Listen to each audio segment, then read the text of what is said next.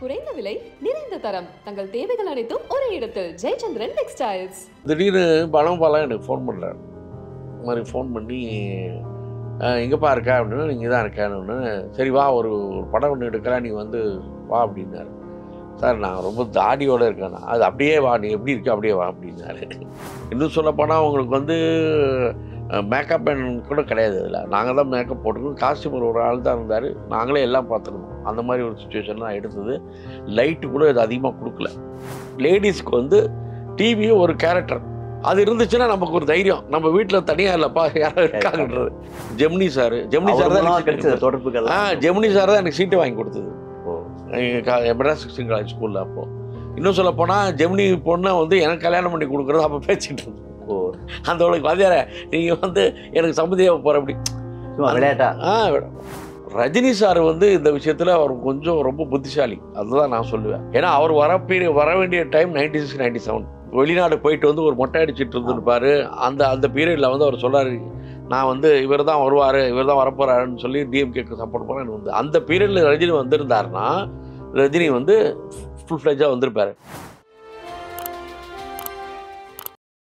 சினிமால வந்து ஒரு கம்பேக் அப்படின்னு சதுரங்க வேட்டை. சதுரங்க வேட்டை தான். சதுரங்க வேட்டை வந்து. அதான் சார் அது வந்து அந்த படம் வந்து நான் இது நிறைய படங்கள் பண்ணிக்கிட்டு இருக்கும்போது சீரியல் அதிகமாக பண்ணிகிட்டு இருந்தேன். அப்பப்போ நடுவு நடுவில் ஒரு படம் பண்ணிட்டு இருந்தேன். தேவான்னு விஜய் கூட படம் பண்ணேன். அந்த மாதிரி அப்புறம் மைந்தன் ஒரு படம் பண்ணேன். இது மாதிரி ஏதாவது நடு நடுவில் ஒரு படம் வரும். அதாவது என்னோட ஏஜில் வச்சுக்கோங்களேன். அதுக்கப்புறம் வந்து நான் நிறைய வந்து பார்த்தீங்கன்னா சபரிமலைக்கு ரெகுலராக போயிட்டு இருந்தேன் நான். சிங்கப்பூரில் என்னோட ஃப்ரெண்டு கிருஷ்ணன் ஒருத்தர் இருக்கார். அவர் வந்து கைலாஷுக்கு அப்போ தான் ஃபஸ்ட்டு போகிறாரு அவர் ஒரு வருஷம் போயிட்டார். ரெண்டாயிரத்தி ஆறில் போயிட்டார். ரெண்டாயிரத்தி ஏழு அவர் போகிறார் அவர் நம்ம சபரிமலைக்கு போகிற மாதிரி பதிமூணு வருஷம் கைலாஷுக்கு போடணுன்னுட்டா என்கிட்ட சொன்னார்.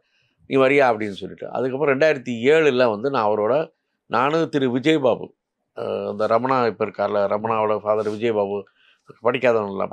அவர் நானும் க்ளோஸ் ஃப்ரெண்ட்ஸு நாங்கள் ரெண்டு பேரும் முத முதல்ல வந்து கைலாஷ் போனோம். கைலாஷ் போயிட்டு வந்தப்போ அப்போ இந்த தாடி நிறையா இருந்தது. போயிட்டு வந்ததுக்கு அப்புறம் நான் வந்து ஃபேஸ்புக்கில் சும்மா ஃபோட்டோ போட்டிருந்தேன். அப்போ திடீர்னு பலம் பலம் எனக்கு ஃபோன் பண்ணுறாரு இந்த மாதிரி ஃபோன் பண்ணி "அஹ், எங்கப்பா இருக்கா? அப்படின்னு இங்கே தான் இருக்கேன்னு சரி வா ஒரு ஒரு படம் ஒன்று எடுக்கிறா நீ வந்து வா அப்படின்னாரு. சார் நான் ரொம்ப தாடியோடு இருக்கேன். அது அப்படியே வா நீ எப்படி இருக்க அப்படியே வா அப்படின்னாரு. சரி போனால் வெஸ்மாம்பலத்தில் ஒரு சின்னதாக ஒரு ஆஃபீஸ் வச்சுருந்தாங்க. அப்போ தான் வினோத் அங்கே உட்காந்துருந்தார் டேரக்டர் ஏன்னா அப்போ தான் அவரை பார்க்குறேன். சார் தான் டேரக்டர் அப்படின்னு அப்போ வந்து என்னை பார்த்தாரு. ஒன்றுமே சொல்லலை அவர் வினோத். சார் இவர் ஓகே சார் அனுப்பிடுங்க அப்படின்ட்டாரு. எனக்கு ஒன்றும் புரியல என்னடா இவர் வந்து ஒன்றுமே சொல்ல கதையை பற்றி சொல்ல ஒன்றும் சொல்லணும்னு அப்புறம் அப்புறம் ஃபோன் பண்ணுறாரு ஏ இது நல்ல கேரக்டராக அது உனக்கு ஒரு பெரிய பேர் கிடைக்கும். ஆக்சுவலாக வந்து இது ஜெயபிரகாஷ் பண்ண வேண்டியது. அவருக்கு வந்து டேட் அவர் ஃப்ரீயாக இல்லை கிடைக்கல. சரி அப்படின்னு பார்த்தா ஒன்றா ஃபிக்ஸ் பண்ணிக்கிட்டாருன்னு சொல்லி சரின்னு சொல்லிட்டு அதுக்கப்புறம் பார்த்தீங்கன்னா ஒரு ரெண்டு மூணு வாட்டி டேட் சொன்னாங்க டேட் தள்ளி போச்சு. அப்புறம் நான் என்னோடய என்னோட நண்பர் ஒருத்தர் நாகூரில் இருக்கார். அவர் மைதின்னு சொல்லிட்டு அவரை அவரை மீட் பண்ண நாங்கள் அங்கே போகணும் போ ஃபங்க்ஷன் போகும். திடீர்னு ஒரு ஃபோன் பண்ணி நான் மதுரையில் ஷூட்டிங் அப்படின்னாரு. சார் என்ன சார்? அப்படின்னா இது பண்ணால் அப்புறம் நண்பரோட வண்டியிலே நான் அங்கே போயிட்டேன். அங்கே முத முதல்ல போயிட்டு அன்றைக்கி அங்கே வந்து சர்வீஸ் அப்பார்ட்மெண்ட்டில் தான் புக் பண்ணியிருந்தாங்க. அப்போ அங்கே போனோம். போயிட்டு அதுக்கப்புறம் ஷூட்டிங்காக கிளம்புறோம். கிளம்பும்போது காரில் உட்காந்துட்டா எனக்கு ஃப்ரண்ட்டில் ஒருத்தர் உட்காந்துருக்காரு அவர் உட்காந்துட்டு இந்த நாடக டயலாக் மனப்பாடம் பண்ணுற மாதிரி பண்ணிக்கிட்டே இருக்கார். அப்போ அங்க நான் பக்கத்தில் வந்து அசிஸ்டன்ட் டேரக்டர் இருக்கார். சார் யார்? என்னமோ பேசுகிறேன் சார் இவர் தான் படத்தோட ஹீரோ நட்ராஜ். பெரிய கேமராமேனு நட்ராஜன்னு அப்படியா? அப்படின்னு சொன்னாம அப்போ தான் அந்த சாமியார் வேஷம் போட்டார் முதல்ல போட்டுட்டு அந்த சீன் முதல்ல என்ன என்னை கவர் பண்ணுற சீன் இருக்குல்ல. ஹைலைட்டான சீன் அந்த சீன் தான் ஃபஸ்ட்டு எடுக்கிறத. எனக்கு கதையும் தெரியாது ஒன்றும் தெரியாது. இவருக்கு வந்து வர சொல்லிட்டாங்க அவ்வளோதான் அப்புறம் அங்கே போய் இறங்கின அப்புறம் இவர் சொல்கிறார் வினோத் சார் சொல்லி இல்லை நீங்கள் இந்த இந்த ஊரில் பெரிய பணக்காரரு. உங்களை வந்து உங்கள் உங்ககிட்ட ஒரு விஷயத்த விற்கணுன்றதுக்காக ஒரு விஷயத்த சொல்லணுன்றதுக்காக இவர் வந்து ஏமாத்தணும்னு நினைக்கிறேன் நான் உங்களை நீங்கள் அதில் மயங்கிடுறீங்க அப்படின்றத மட்டும் சொன்னார். அதில் என்ன ஷார்ட் பூரா அவருக்கு தான் ஏன்னா டயலாக் நிறைய பெரிய டயலாக் சார் அது ஒவ்வொரு செய்தி சொல்லி சொல்லி. சொல்லி நான் ரொம்ப உணர்ச்சி வசப்படுற மாதிரி தான் அது. நான் எனக்கு வந்து ஆக்சுவலாக பார்த்தா எனக்கு வேலையே கம்மி அதில். அவர் சொல்கிறத அப்படியே கவனிச்சுட்டே இருக்கணும் அவ்வளோதான் அப்போ வினோத் சார் சொன்னி இப்படி பாருங்க சார் இப்படி பாருங்க இப்படி கையை இப்படி தூக்குங்க இப்படி பண்ணுங்க அப்படின்னு சொல்லிட்டு அவர் என்ன எடுத்தாருன்னு தெரியாது அதுக்கப்புறம் பார்த்தீங்கன்னா போய் ஹோட்டலில் உட்காந்துருக்கிற மாதிரி சாப்பிட்ற மாதிரி அப்புறம் இன்னொருத்தர் வந்து என்கிட்ட பேசுகிற மாதிரி எல்லாம் மாண்டேஜ் சீனாவே எடுத்தாங்க எனக்கு புரியல என்னது? எப்படி சொல்லிட்டு அதுவும் அப்பா வந்து டயலாக் பேஸ்டா ஆமாம் இது ஒரு மாண்டேஜ் சீனாவே இருந்தது. அதை எடுத்து முடித்தாங்க இன்னொரு நாள் வந்து அங்கேயே அப்படி எல்லாம் டைலாக்ஸாக அதிகமாக இல்லை. நாங்கள் ஏதோ பேசுகிறது வண்டியிலே உட்காருங்க போகிறோங்க அப்படி தான் இருந்தது. அதுக்கப்புறம் பாலக்காடு போகலான்னு சொன்னாங்க. அப்போது என்ன பண்ணாங்கன்னா அந்த பணக்காரராக இருக்கிறதுனால உங்களுக்கு வந்து ஒரு ஃபார்மேட்டிக் பென்ஸ் வந்து அவர் அப்போ ஃபிக்ஸ் வாடகைக்கு எடுத்துட்டாங்க நாலு நாளைக்கு. அந்த வண்டியில் தான் நான் ஷூட்டிங் போகிறதும் அந்த வண்டியில் நாங்கள் வரது இருந்தது. பாலக்காடுக்கும் அந்த வண்டி தான் நான் போகணும் அப்போ போகும்போதே அப்போ வந்து கேஜி வெங்கடேஷன் சொல்லிட்டு அறிமுகப்படுத்துறாரு கேமராமேன் அந்த படத்தில். ஸோ அவர் தான் வந்து போகும்போதே என்ன பண்ணாங்க அவ- அவங்க அவருக்கு வந்து நம்ம நடராஜனுக்கு வந்து ஒரு ஓப்பன் ஜீப் இருக்கும் அந்த அந்த படத்தில் பார்த்தீங்கன்னா படம் பூரா அந்த ஓப்பன். ஜீப் இருக்கும். அந்த ஜீப்பு பின்னாடி வருது நாங்கள் அதில் போகிறோம் அப்போ போகும்போதே அந்த ட்ராவலிங்கும் எடுத்துட்டார். இவர் கூட்டு போகிறோமோ அதையும் எடுத்துட்டார். அங்கே போகும்போது எடுத்துட்டாங்க. என்னென்னா ரொம்ப ரொம்ப சிக்கனமாக எடுத்தார். மணபால சாரை வந்து ரொம்ப சிக்கனமாக எடுத்தார். இன்னும் சொல்லப்போனால் அவங்களுக்கு வந்து மேக்கப் கூட கிடையாது அதில். நாங்கள் தான் மேக்கப் போட்டுக்கணும். காஸ்டியூமர் ஒரு ஆள் தான் இருந்தார். நாங்களே எல்லாம் பார்த்துக்கணும். அந்த மாதிரி ஒரு சுச்சுவேஷன் தான் எடுத்தது. லைட்டு கூட இது அதிகமாக கொடுக்கல. பாலக்காட்டில் ஒரு ஒரு அந்த மாதிரி பா அந்த பழைய காலத்து வீட்டில் போய் எடுத்தாங்க. அதில் என்னமோ நான் உட்காந்து சாமி கும்பிட்ற மாதிரி ஏதோ அவர் பண்ணியிருக்காரு. இல்லை எங்களை பொறுத்தவரைக்கும் ஃபினிஷிங் தானே தெரியும். அது என்ன. நடந்திருக்குன்னு நம்மளுக்கு தெரியாதுல்ல. எல்லாம் பண்ணார். நீங்கள் அதே மாதிரி கும்பிடுங்க சார். ரொம்ப இது பண்ணுங்க அப்படிலாம் சொன்னார். முடித்தா அதுக்கப்புறம் முடிஞ்சோன்னா அதுக்கப்புறம் ஆளுகிட்ட சொல்லுவேன் நூறு கோடி கொண்டாந்து கொடுப்பாங்க எனக்கு பணம் மூட்டையை கொண்டாந்து கொடுப்பாங்க முடிஞ்சுது. அதை வந்தாச்சு. நான் அதுக்கப்புறம் மறந்துட்டேன். ஒரு ரெண்டு மாதம் கழிச்சு தான் போஸ்ட் ப்ரொடக்ஷன் பண்ணாங்க. அப்போ டப்பிங் கூப்பிட்டாங்க. வினோத் சார் தான் இருந்தார். பரணி ஸ்டுடியோவில் தான் டப்பிங் நடந்தது. நான் போனேன். போயிட்டு அந்த டப்பிங்கில் பேசும்போது ஒரு ஒரு ஒன் ஹவர் ஒன்றரை மணி நேரத்தில் நான் டப்பிங் முடிச்சிட்டேன். ஏன்னா வா டைலாக்ஸை கம்மி தானே. பார்த்துட்டு நல்லா வந்திருக்கு sir Vinod sir thank you sir அப்படின்னு சொல்லிட்டு சொல்லி அனுப்பிச்சிட்டார். நான் போயாச்சு. அதுக்கப்புறம் நான் வந்து வேறு படங்கள் பண்ணிகிட்ருக்கேன் திடீர்னு ஒரு நாள் நம்ம லிங்குசாமி இருக்கார்ல அவரோட அசிஸ்டண்ட் ஒருத்தர் ஃபோன் பண்ணுறாரு ஃபோன் பண்ணி அவன் ரொம்ப பிரமாதம் பண்ணியிருக்க நான் படம் பார்த்தோம். நாங்கள் தான் வாங்கியிருக்கோம் வாங்கியிருக்கோம் அந்த படத்தை. எனக்கு வந்து மணபோல வந்து பாம்பேயில் போட்டு காமிச்சார். பாம்பேயில் சூர்யா சார் படம் நடந்துட்டுருக்கு ஷூட்டிங்கு எங்களுக்கு டைம் கிடைக்கல. அப்புறம் சொல்லி அங்கேயே தான் ஒரு பர்சன் தேட்டரில் போட்டு பார்த்தோம். ரொம்ப பிரமாதமாக இருந்திருக்கு படம். என்ன அவ்வளோ பிரமாதமாக நீ ஆக்ட் பண்ணியிருக்கேன்னு. ஒரு ரெங்குசாமி சாரே ரொம்ப பாராட்டணும் என்ன சொல்கிறீங்கன்னு அப்படி. அவன் இந்த படம் தான் சதுரங்க வேட்டான்னு அப்படியா அப்படின்னு சொல்லிட்டு அதுக்கப்புறம் பார்த்தா அப்புறம் இவங்க விளம்பரம் பண்ண ஆரம்பிச்சிட்டாங்க. ஏன்னா திருப்பதி பிரதர்ஸ் அவங்க. வாங்கினதுக்கப்புறம் தான் அதோட அதுக்கு ஒரு வேல்யூ ஜாஸ்தி ஆச்சு. ஏன்னா அவங்களுக்கு ரெண்டு ப ரெண்டு படம் ஹிட் அவங்களுக்கு. இது மூணாவது படமாக பண்ணணும்னு சொல்லிட்டு பண்ணாங்க. நான் ஜூலை பதினெட்டுன்னு நினைக்கிறேன் அந்த படம் ரிலீஸ் ஆகும்போது. அன்றைக்கி தான் வந்து விஏபி ரிலீஸ் ஆகுது. தனுஷ் சார் படம். அதுக்கு முன்னாடி தனுஷ் சாருக்கு அந்த அளவுக்கு மார்க்கெட் கிடையாது. அந்த படம் தான் அவருக்கு கிட்டாது அப்போ போஸ்ன்றவர் தான் வந்து அதுக்கு விநியோகம் பண்ணுது. ஏன்னா ஃபுல்லாக நாலு பிரதர்ஸில் வந்து போஸ் தான் ஃபுல்லாக இப்போ நிர்வாகம்லாம் பார்த்துக்கிறது. அவர் வந்து தேட்டர் பிடிக்கிறதுல ரொம்ப பெரிய கிளாடி அவர் என்ன எதிர்பார்த்தாருன்னா தனுஷ் படத்தை விட தனுஷ் படம் விட நம்ம படம் ரொம்ப நல்லா போகும். தனுஷ்க்கு அந்த அளவுக்கு இல்லைல்ல அப்படின்னு சொல்லி நினச்சிட்டு இருந்தார். ஆனால் தனுஷ் வந்து நிறைய தேட்டர்ஸு எடுத்துட்டார். ஸோ அதனால இப்போ படம் பெரிய ஹிட் ஆச்சு. நம்ம படம் பெரிய ஹிட் ஆச்சு. நல்லா கலெக்ஷன் இன்னும் தேட்டர்ஸ் இன்னும் நிறைய கலெக்ஷனாக இருக்கும். ஏன்னா அது ரிப்பீட்டடாக நல்லாவே போயிட்டு இருந்தது. ஸோ அது அது ரிலீஸுக்கு முன்னாடி ப்ரெஸ் மீட்லாம் வச்சுருந்தாங்க. ப்ரெஸ் மீட்டு எனக்கு வந்து பேசினாங்க. அப்போ தான் வந்து அவர் சொல்கிறார் லிங்குசாமி ரொம்ப நல்லா பண்ணியிருக்காரு அப்படின்னு சொல்லிட்டு பார்த்தேன். அப்புறம் நான் வந்து நான் படமே வந்து தேட்டரில் தான் போய் பார்த்தேன். அப்போது என்னோட நண்பர் வந்து திரு கிருஷ்ணன் இருக்கார்ல கிருஷ்ண பஞ்சு. அதில். கிருஷ்ணனோட சன் சுபாஷ் அவர் இறந்துட்டார். அவர் எனக்கு ரொம்ப க்ளோஸ் ஃப்ரெண்டு அவர் வந்து அவரை கூட்டு போய் நான் படம் பார்க்க போனோம். அவர் படம் பார்த்து முடிஞ்சதுக்கப்புறம் சொல்கிறாரு இந்த படம் வேற லெவல் படம் பா. நீ நீ வந்து படத்தோட ஃபுல் வெயிட்டை உன் மேலே போட்டிருக்காங்க. நீ பண்ணது வந்து கடைசி பதினஞ்சு இருபது சீன்ஸ் ஆனால் அது ரொம்ப வெயிட்டான சீன்ஸு ரொம்ப பிரமாதமாக அவனுக்கு வரும்னு சொல்லிட்டு போனார். அதுக்கப்புறம் எனக்கு அது ஒரு ரீஎன்ட்ரி மாதிரி வந்து நிறைய படங்கள். நாற்பது ஐம்பது படம் வந்து நிறைய அதான் அதில் வந்து ஓமான பெண்ணில கூட பிரியா பவானி சங்கர். அந்த. கேரக்டர் ரொம்ப பேசப்பட்டுச்சு அந்த அந்த படம் பார்த்தீங்கன்னா அது வந்து பெல்லிச்சுப்புலுன்னு சொல்லிட்டு தெலுங்குல வந்த படம். ஓமன பெண்ணு. பெல்லிச்சுப்புல வந்து நம்ம விஜய் தேவர்கொண்டாவோட அஹ், ரெண்டாவது படமும் என்னமோ ஏன்னா பாப்புலரான படம் அது. ரெண்டாவது கம்மி பட்ஜெட்டில் ரெண்டு கோடியில் எடுத்த படம் கிட்டத்தட்ட பதினஞ்சு இருபது கோடி கலெக்ட் பண்ணிச்சு ஆந்திராவில் ஒரு ரொம்ப சிம்பிள் பட்ஜெட்டான படம் அது வந்து அது ரித்து வர்மா பண்ணிச்சு. அதுல அந்த பொண்ணோட அப்பா கேரக்டர் தான். அந்த கேரக்டர் தான் நீங்கள் பண்ணணும்னு சொல்லி சொன்னாங்க. விஜய் இருக்கார்ல நம்ம தளபதி விஜய் இருக்கார் விஜயோட அவங்க சோபாவோட மாமா சன்னு தான் வந்து கார்த்தின்னு சொல்லிட்டு அவர் தான் டைரக்ட் பண்ண ஃபஸ்ட் டைம் படம் பண்ணுறாங்க அந்த கார்த்தி வந்து இவர்கிட்ட வந்து நம்ம விஜய் ஏஎல் விஜய் கிட்ட அசிஸ்டண்ட்டாக இருந்திருக்காங்க. தீபக்குன்னு சொல்லிட்டு நம்ம ஆர் சுந்தரராஜன் பையன் தான் வசனம் எழுதுனது. எல்லாம் நமக்கு தெரிஞ்ச பசங்களாம் அதுல போயிட்டாங்க. ஹரிஷ் கல்யாண் வந்து உங்க ஃப்ரெண்டுடைய சன் அதுல அது எனக்கு அவன் கல்யாணம் வந்து எனக்கு நாங்கள் ஒன்றா படித்தவங்க நாங்கள் வந்து மெட்ராஸ் கிறிஸ்டின் காலேஜ் ஸ்கூலில் ஒன்றா படித்தவங்க நாங்கள் இவன் அவன் ஆக்சுவலாக பார்த்தீங்கன்னா அவன் முதல்ல மியூசிக்கில் தான் இன்ட்ரெஸ்டடாக இருந்தான் ஹரிஷ். அவன் பியானோலாம் வச்சு எல்லாம் கற்றுட்டு இருந்தான். அப்புறம் சடனாக வந்து இதில் வந்தான். அவன் வந்து அதே மாதிரி தான் அவனுக்கு ரெண்டு படம் மூணு படம் எல்லாம் ஃப்ளாப் ஆச்சு. அதுக்கப்புறம் தான் அவன் வந்து இந்த படம் பண்ண பியார் பிரேம் அவன் காதல் பண்ணி பண்ணான். பட் நானும் அவனும் க்ளோஸ் ஃப்ரெண்டாக இருந்தாலும் நான் இந்த ஃபீல்டில் இருந்தாலும் என்னால் தான் கல்யாணம் இந்த ஃபீல்டுக்கு வந்தது. இந்த ப டிஸ்ட்ரிபியூஷனில் வந்து அப்படி வந்தான். கல்யாணம் அப்புறம் டிஸ்ட்ரிபியூட்டராக இருந்தால் அப்புறம் இதுக்குள்ள வந்தான். இருந்தாலும் எங்களுக்கு அந்த சந்தர்ப்பம் வரவே இல்லை. ரொம்ப க்ளோஸ் ஃப்ரெண்ட்ஸாக இருந்தால் நான் அவங்க கூட படம் ஒர்க் பண்ணுறதுக்கு ஒரு இதை கிடை அமை அமையவே இல்லை. சடன் இவர் வந்து இவங்க கூப்பிட்டு எனக்கு பண்ணதுக்கப்புறம் பார்த்தா அப்போ ஹீரோ சொல்கிறாங்க ஹரிஷ் கல்யாண்னு சொல்லிட்டு. இன்ஃபேக்ட் அப்போ நான் ஷூட்டிங்கில் தான் வந்து ஹரிஷை மீட் பண்ணுறேன் அதே மாதிரி காதலும் கடந்து போகும் கூட. உங்களுக்கு வந்து ரொம்ப நல்ல பேர் ஆயிடுச்சு அஹ் விஜய் சேதுபதி சாரோட நிறைய படம் பண்ணிருக்கீங்க இல்லையா? ஆமா. அந்த- அது அது முதல் படம் அவரோட பண்ணது. அவர் நலன்குமார சாமி படம் அது ஆக்சுவலாக அவர் வந்து சூதுகமம் படத்து பண்ணதுக்கப்புறம் ரெண்டாவது படம் இது பண்ணுறாரு அதுக்கும் கேப் தான். இப்போ வந்து எம்ஜிஆர்னு ஒரு படம் பண்ணிட்டு இருக்காரு ஆக்சுவலாக அவங்களும் இது ஆடிஷன் பண்ணி தான் பண்ணாங்க. அதுக்கப்புறம் அவர் கூப்பிட்டாரு நம்ம இதில் வலசுலகத்தில் தான் ஆஃபீஸுக்கு போனோம். போனோம் அதுக்கப்புறம் ரெண்டு டைலாக்லாம் சொல்லி பேச சொன்னார்.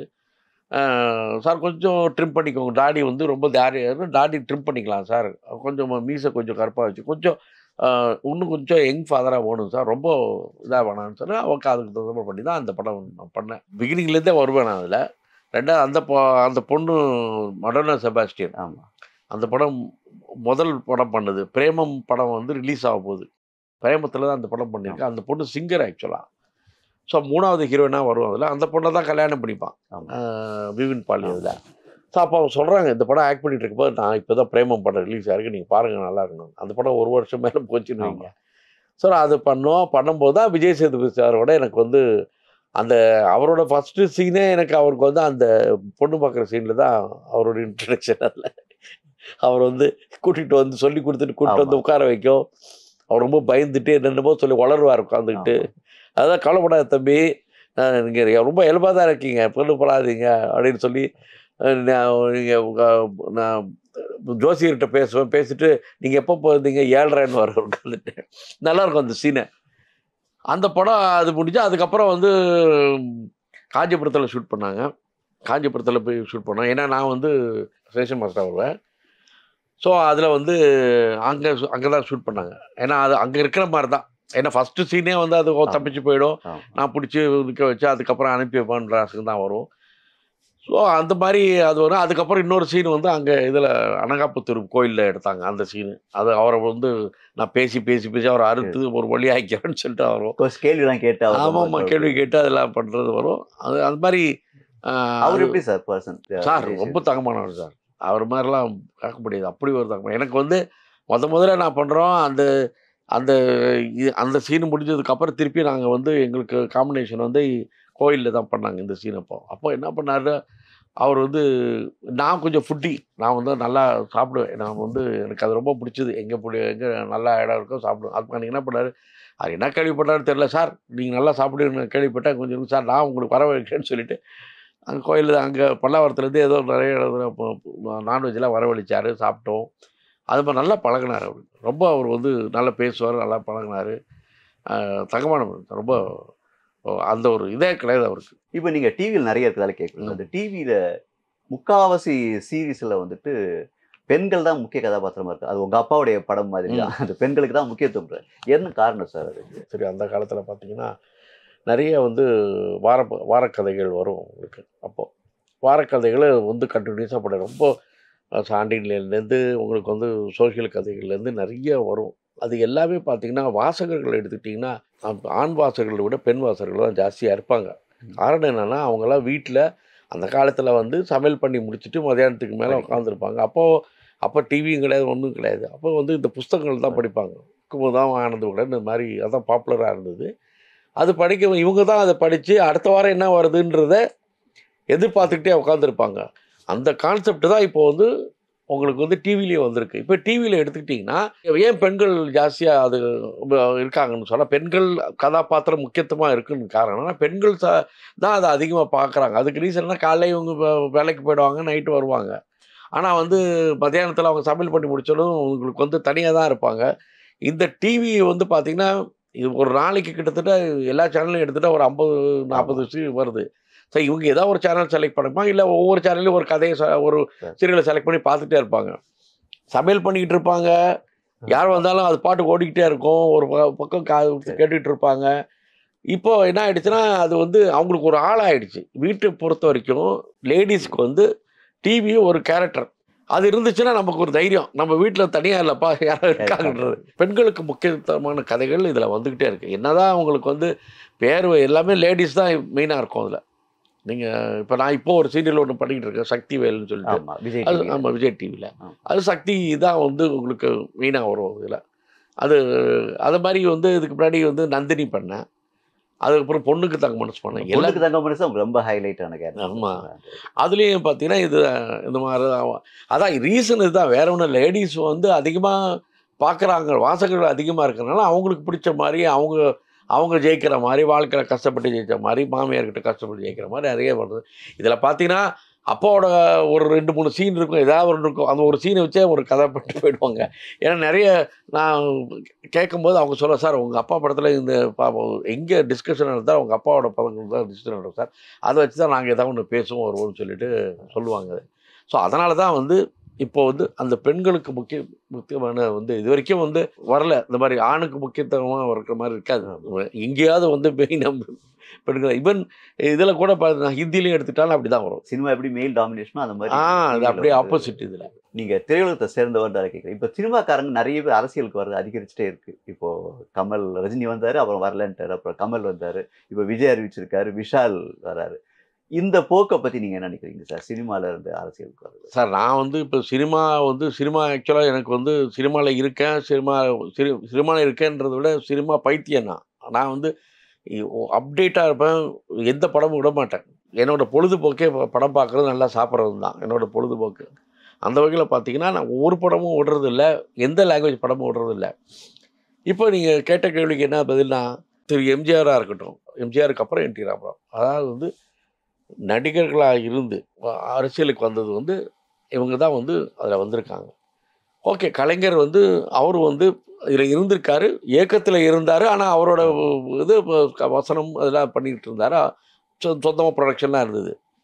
பட் சிவா எம்ஜிஆர் அரசியலுக்கு வந்திருக்காருன்னா அவர் எவ்வளோ கஷ்டப்பட்டு வந்திருக்காரு எப்படி வந்து நடிக்கிறதும் கஷ்டப்பட்டு வந்தாரோ அவரும் ஆரம்பத்தில் கஷ்டப்பட்டு வந்தவர் தான் அவரும் அந்த மாதிரி வந்து எம்ஜிஆர் கஷ்டப்பட்டு தான் வந்திருக்காரு. கொஞ்சம் கஷ்டப்படலைன்னு சொல்லலாம் என் டி ராமராவ் மட்டும்தான். ஒரு மூணு மாதத்துலேயே நாலு மாதத்துலேயும் பேச ஆரம்பிச்சிட்டார். அவர் மட்டும்தான். பட் இருந்தாலும் அவங்க அந்த பாப்புலாரிட்டி இருந்தது. அவங்க ஒரு ஒரு பெரிய ஸ்டேஜுக்கு வந்து அந்த பாப்புலாரிட்டி வந்துச்சு. அந்த வகையில் பார்க்கும்போது இப்போ வந்து இப்போ விஷால் வந்து வரப்போறாருன்னு சொன்னீங்க. அதுக்கப்புறம் வந்து விஜய் இருக்காரு. இது இதுக்கு முன்னாடி சிவாஜி சாரே அதில் வந்தாரு. போயிட்டாரு. சரத்குமார். சரத்குமார் இருக்கார். அவர் வந்து அரசியல் இருக்கார். இருந்துக்கிட்டே தான் இருக்கார். இன்னும் அவர் வந்து அந்த பெரிய ஸ்டேஜுக்கு வரல. பட் அவர் நார்மல் ஸ்டேஜ் தான் இருக்கார். என்ன சொல்ல வரேன்னா அவங்களுக்கு வந்து இவர் சிவாஜி சார் வந்து விடு. சிரஞ்சீவியில் ஒரு ஆள் வேணுமா? சிரஞ்சீவியே அரசியல் வந்தார். சிரஞ்சீவி இன்னைக்கு சத்யா. எடுத்துக்கிட்டே இன்னைக்கு ஒரு ரஜினி மாதிரி தான். அங்க அங்க. அங்க. அந்த அவரே வந்து வந்துட்டு அவருக்கு இல்லாமல் போயிடுச்சு.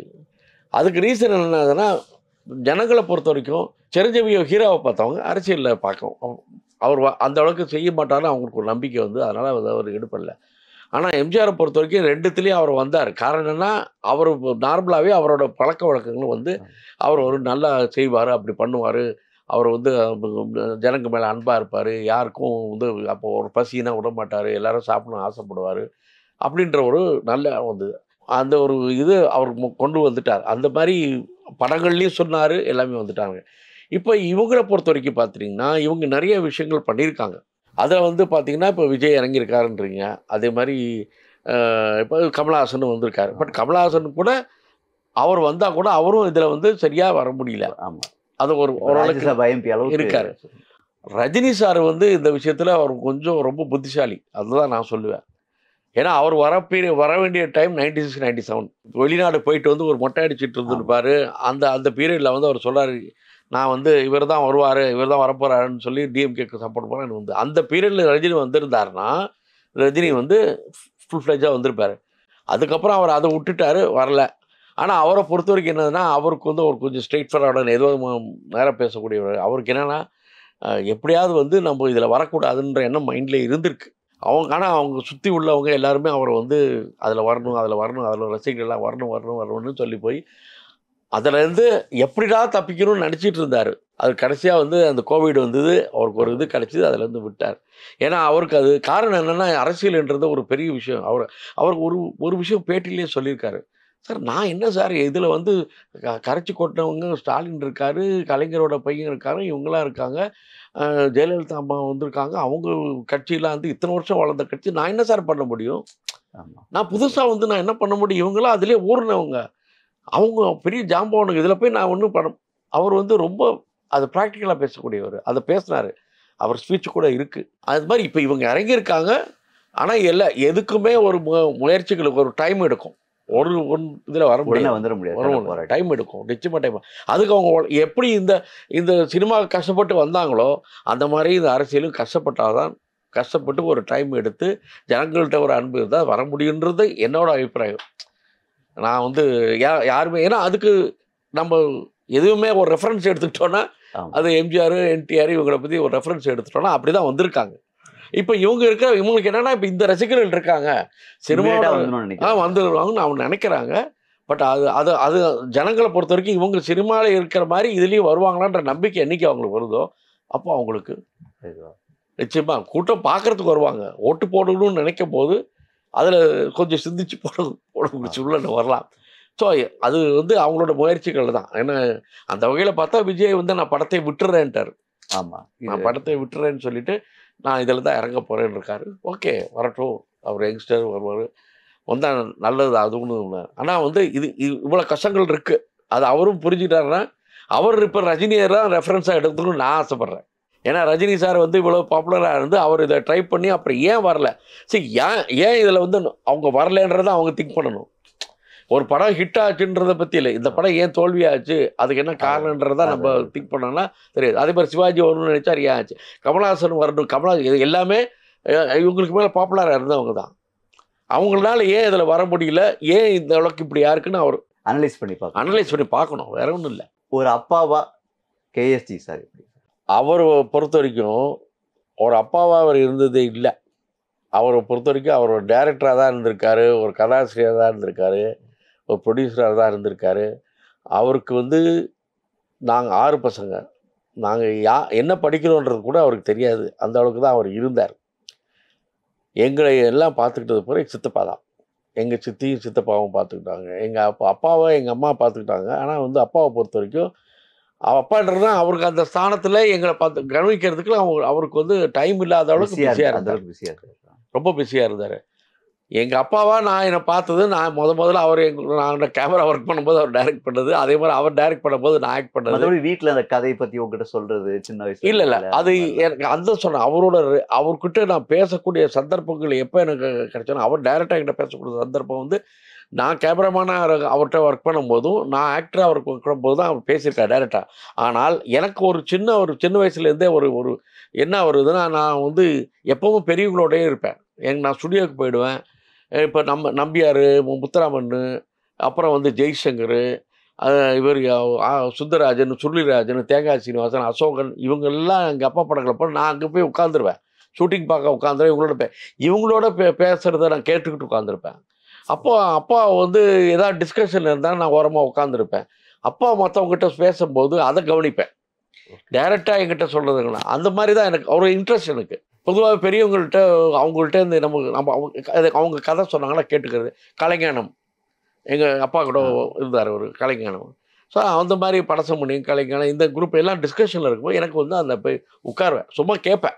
இவங்க எப்படி பண்ணுறாங்க எப்படி அப்பா எப்படி வசனம் எழுதுறாரு என்ன பண்ணுறா அப்படின்றத வந்து நானாக வந்து அவர் சொன்னது கிடையாது.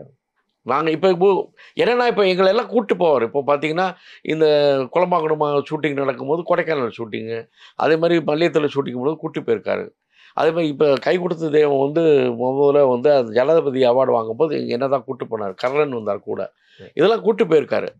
அது அது அது கூப்பிட்டு போகிற வழியே பட் வீட்டில் வந்து கிடையாது. அந்த அஃபெக்ஷன் வந்து ரொம்ப காட்ட காட்டிக்க காட்டிக்க மாட்டேன் வீட்டில் ஒன்றும் கிடையாது. பட் இங்கெல்லாம் படம் உங்களுக்கு என்ன உணவு சாப்பிட எல்லாம் அதெல்லாம் செய்வார். அந்த மாதிரிலாம் வந்து அவர் இருந்திருக்காரு. பட் ஆனால் அதான் சொல்கிறேன் அவரோட டைரக்டர் அப்போ வந்து இந்த மாதிரி விஷயங்களா? பட் எனக்கு வந்து நான் இதில் இன்ட்ரெஸ்டாக இருந்தனால சினிமாவில் இன்ட்ரெஸ்டாக இருந்தனால எனக்கு இந்த பெரியவங்களோட உட்காந்து பேசுறதுல அவங்க சொல்கிறப்ப கேட்டுக்கிறது அதில் வந்து எனக்கு எல்லாம் அப்படி அப்போ நம்ம நம்பியார் சாமியோட நான் ஒரு இருபது வருஷம் நான் சபரிமலைக்கு போயிருக்கனால அவர் அவரோட நல்ல பழக்கம். ஏன்னா அப்பா வந்து அப்பா அப்பாவோட குரு அவர். குருன்னு இன்டெரக்டாக சொல்லலாம். ஏன்னா ராஜமாணிக்க பிள்ளைலாம் சீனியராக இருந்தார் நம்பியார் சாமி ஸோ அவரு அப்பா மேலே ஒரு நல்ல மரியாதை வச்சிருக்க அப்பா படங்கள் அவரும் நிறையா பண்ணியிருக்காரு. உயிராமணம் எல்லாம் நல்ல கேரக்டர் அவர் பண்ணது. நிறைய படங்கள் அவர் பண்ணியிருக்காரு. சுபதினம். அவருக்குன்னு அப்பா உருவாக்கின கேரக்டர்ஸ் எல்லாம் நிறையா இருக்குது ஸோ அந்த மாதிரி எனக்கு இவங்களோடலாம் எனக்கு இருக்க Muthuraman sir Gemini sir Gemini sir தான் தொடர்புகள் ஆ ஜெமினி சார் தான் எனக்கு சீட்டு வாங்கி கொடுத்தது. ஓ. எங்கள் கா மெட்ராஸ் சிக்ஸ்டின் காலேஜ் ஸ்கூலில் அப்போது இன்னும் சொல்ல போனால் ஜெமினி பொண்ணை வந்து எனக்கு கல்யாணம் பண்ணி கொடுக்குறது அப்போ பேசிகிட்டு இருந்தேன். ஓ. அந்த அவளுக்கு வாத்தியார நீங்கள் வந்து எனக்கு சம்மதியாக போகிற அப்படி. விளையாட்டா? ஆ லேட்டாக ஒரு சீரியஸாக அது பேசிட்டு இருந்தாங்க அதே மாதிரி பத்மினி அம்மா வந்து பார்த்தீங்கன்னா அவர் ஆனந்த் அவர் பையன் அவன் அவங்களும் அவங்க எங்கள் அப்பா படங்கள் பண்ணும்போது நான் ஷூட்டிங்கில் நான் போயிருக்கேன். அவங்களும் பா- அவங்க மடியில் படுத்து தூக்கிட்டு போயிருக்கேன் சின்ன வயசில். அப்போ சொல்லுவாங்க அவங்க பையனை என்ன வச்சு ஃபோட்டோ எடுத்திருக்காங்க. நான் அமெரிக்காவில் வச்சுருக்கேன் ஃபோட்டோன்னு சொல்லி சொல்லியிருக்காங்க. ஸோ இந்த மாதிரி அது அது மாதிரி அவங்க கேரேஜ் அம்மா ஃபேமிலி ஃப்ரெண்டு ஸோ இவங்களோட எங்கள் ஃபேமிலியை எடுத்துக்கிட்டால் நான் தான் வந்து அவங்களோட இது ஸோ இவங்க பெரியங்களோட இருக்கிறதுனால எனக்கு அப்பாவோட விஷயங்கள் தெரிய வருது. பட் ஆஸ் அ ஃபாதரை வந்து அவர் வந்து பிஸியாக தான் இருந்தார். ஏன்னா இதை கவனிச்சது பிறகு எங்கள் சித்தப்பா தான். எங்களை வளர்த்தது இன்னும் சொல்ல போனால் எங்கள் அப்பா வந்து நாங்கள் மாமான்னு கூப்பிடுவோம் சித்தப்பாவை நானான்னு கூப்பிடுவோம் எங்கள் அம்மா வந்து சித்தின்னு கூப்பிடுவோம் எங்கள் சித்தி அம்மான்னு கூப்பிடுவோம். இது வந்து நாங்கள் சின்ன வயசுலேருந்தே அப்படியே பழகிட்டோம். அதுதான் அவர் ஆஸ் அ ஃபாதர் அவர் வந்து எங்களுக்கு ஒரு கௌரவமான ஃபாதர் அவர் ப்ரெசிடென்ட் என்ன அவரோட பையன் சொல்கிறதுலே நாங்கள் ரொம்ப பெருமைப்படுறோம். அந்த வகையில் இருந்தார். பட் ஃபேமிலி மேனாக பார்க்கும்போது அவருக்கு டைம் இல்லை. அவர் அந்த மாதிரி தான் அவர் அவர் அவர் ஃபுல்லாகவே டெடிகேஷன் டு த சரிங்களா மிக்க நன்றி சார். உங்கள் அப்பாவை பற்றியும் உங்களை பற்றியும் பல தகவல்களை எங்களுக்கு சொன்னீங்க. மிக்க நன்றி. ரொம்ப நன்றிங்க. எனக்கு நீங்கள் இந்த இன்டர்வியூ எடுக்கிறதுக்கு இந்த சந்தர்ப்பம் கொடுத்து வாய்ப்பு கொடுத்து நான் ரொம்ப பெருமையாக போகிறேன் ஏன்னா நிறைய விஷயங்கள் பேசிட்டு போகலாம் ப்ளஸ் நீங்கள் இந்த ஃபீல்டில் உள்ள அத்தனை பேர் அத்தனை ஒரு ஜாம்பவான்களையும் அவங்களோட அறுபது வருஷம் ஆனதை வந்து நீங்கள் ஒரு ஒரு ஒரு இதை சீரியஸாக எடுத்துகிட்டு வரீங்க. அதுவே எனக்கு ரொம்ப பெருமையாக இருக்குது ஏன்னா இது இந்த மாதிரி எடுத்து மற்றவங்களுக்கு காமிச்சு காமிச்சாதான் இது என்ன உங்களுக்குன்றது தெரியும். மற்றவங்களுக்கு இப்போ இப்போ இருக்கிற ஜென்ரேஷன் ஆமாம் கண்டிப்பாக இப்போ இருக்கிற ஜென்ரேஷன் தெரியறதுக்கு வேற என்ன சான்ஸ் இருக்குது உங்களுக்கு? நம்மளால் முடிஞ்சதை நம்ம மற்றவங்களுக்கு சொன்னா அது ரெஃபரன்ஸ் மாதிரி தான் உங்களுக்கு இப்போ ஒரு ஒரு ஹைகோர்ட்டை எடுத்துக்கிட்டிங்கன்னா உங்களுக்கு வந்து லாயர்ஸ் எல்லாம் பழைய ஜட்ஜ்மெண்ட்லாம் எடுத்து பார்த்து தானே உங்களுக்கு வந்து ரெஃபரன்ஸ் எடுத்து பண்ணுறாங்க அந்த மாதிரி இது ஒரு ரெஃபரன்ஸ் மாதிரி தான் இது என்னன்னைக்கும் இது நிலைக்கும் உங்களுக்கு. இது வந்து வர போகிற ஜென்ரேஷன் எல்லாரும் பார்ப்பாங்க. அது அந்த வகையில் நீங்கள் அது ஒரு பெரிய ஒரு தொண்டா செய்றீங்கன்றது என்னோட ஒரு ஒரு தாழ்மையான அபிப்பிராயம். நான் ரொம்ப சந்தோஷப்படுறேன். உங்கள் இந்த இன்டர்வியூ உங்ககிட்ட வந்து பேசுனதுக்கு. ரொம்ப ரொம்ப நன்றி. தேங்க்யூ